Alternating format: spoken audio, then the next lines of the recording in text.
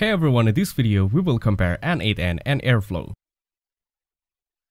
N8N and Airflow are both powerful automation tools but they are designed for different purposes, make the better choice depend on your business needs. N8N is an open source automation platform designed for no-code or low-code users.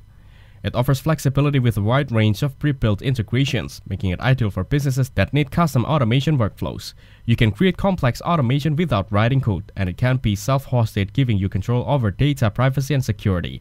On the other hand, Airflow is a more technical tool designed primarily for data engineers and developers. It's an open source platform built for orchestrating workflows and managing data pipelines. Airflow is highly scalable and works well for businesses dealing with large-scale data processes or needing extensive monitoring and logging of complex workflows. In my opinion, if your business needs a no-code automation solution that's easy to set up and scale, N8N is a better choice.